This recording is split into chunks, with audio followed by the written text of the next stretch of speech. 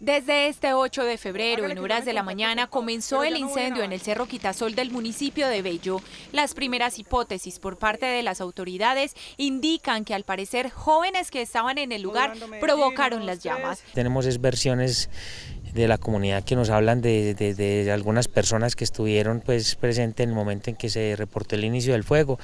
Ya pues naturalmente trataremos de, que nos digamos nos eh, definan con mayor grado de certeza quiénes fueron. En horas de la noche este mismo miércoles, los cuerpos de bomberos no pudieron trabajar en la zona por el peligro que representaba. Sin embargo, este jueves a las 6 de la mañana se reanudaron las labores para intentar controlar las llamas tenemos seis, de manera que eso nos, nos, impone seis frentes de ataque que están definiendo los bomberos para controlar porque, porque el tema es complejo, son, son focos que se van reactivando con el tema del viento y el calor que está haciendo en este momento.